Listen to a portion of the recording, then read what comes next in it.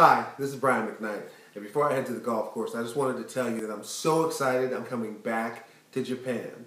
Tokyo, May 1st through the 3rd at Billboard Live, and Osaka, May 5th at Billboard Live. Uh, I'm bringing my trio back. I'm bringing back Big Sexy on bass, Tyrone on guitar.